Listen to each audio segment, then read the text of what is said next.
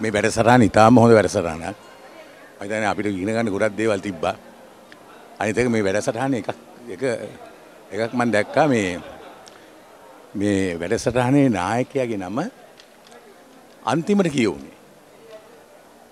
ගොඩක් තැන්වල නායකයවන ඉස්මතු කරන්නේ. මේක එහෙම ඉස්මතු කරේ නැහැ.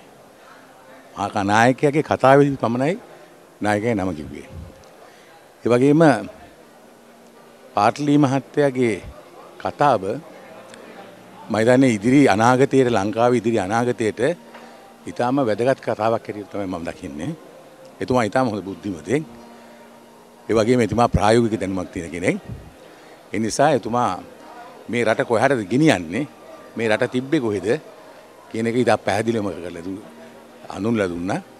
ඉතින් ඒ තුලින් මම හිතන්නේ අපිට ඉගෙන ගන්න සහ අපිට ඉදිරි අනාගතයේදී මේ රට කොහටද ගෙනියන්නේ කියන එක අපිට ඉතාම හොඳින් වැටහුණයි කියන එක මම අපි කතා වුණේ අවබෝධ කරගත්තේ මොකද මේ කඩා වැටලා තියෙන්නේ මේ ආණ්ඩුව නෙවෙයි රට.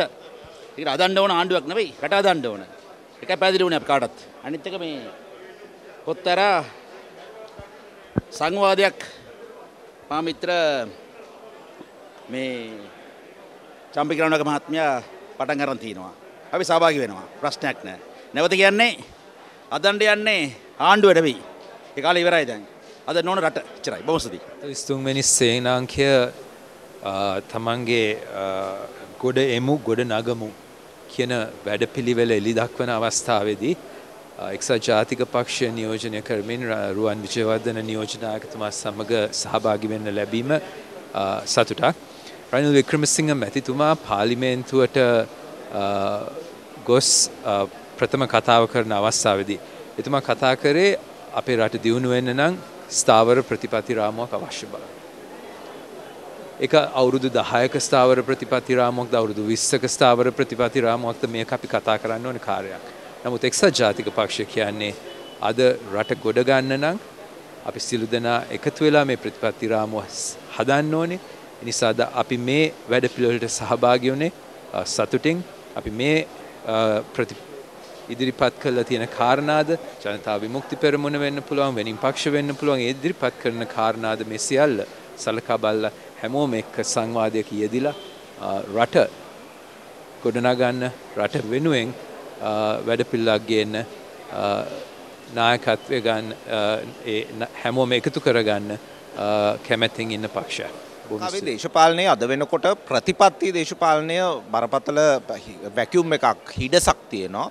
යම් කරුණු පිළිබඳව හොඳ විග්‍රහයක් කරලා ඒ විග්‍රහය මත පදනම් වෙලා ඒවට පිළිතුරු සොයා ගැනීමේ දේශපාලනයක් අපේ රටට අවශ්‍ය වෙලා තියෙනවා. ඒකට හේතුව අද ලංකා ඉතිහාසයේ දැවන්තම ආර්ථික අර්බුදය බලශක්ති අර්බුදය සහ ඒ තුළින් මතුවෙච්ච දේශපාලන අර්බුදයකට රට ගිහිල්ලා තියෙන හින්දා.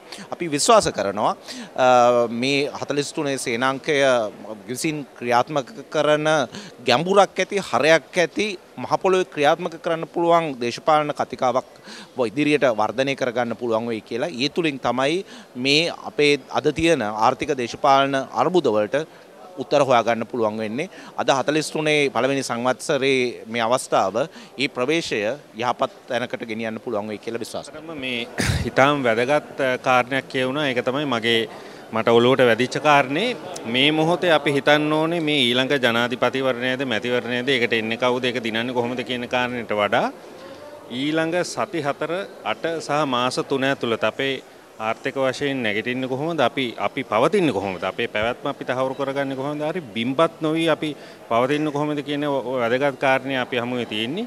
ඉතින් ඒකට මේ මේ පක්ෂ වලට බෙදිලා මේ මේ සුපුරුදු මේ මේ මත ගැටුමට සහ ඒ පොරේට යන්නේ නැතුව සියලු දෙනා එකතු වෙලා එක අරමුණක් ඇතුව එක එක එකඟතාවයක් ඇතුව යන පොදු වැඩපිළිවෙලක් අවශ්‍යයි. ඉතින් ඒකට අවශ්‍ය වේදිකාව සපයා ගැනීම තමයි ඒක සකස් කරගන්න එක තමයි ප්‍රධානම වැදගත්ම කාරණේ. ඉතින් ඒ වෙනුවෙන් සාධනීය යමක් කෙරේ කියන විශ්වාසය තියෙනවා. ඒවට සියලු දෙනාට එකතු වෙන්න කියන ඒ අවම ඉල්ලීම තමයි මේ වෙලාවේ කරන්න තියෙන්නේ.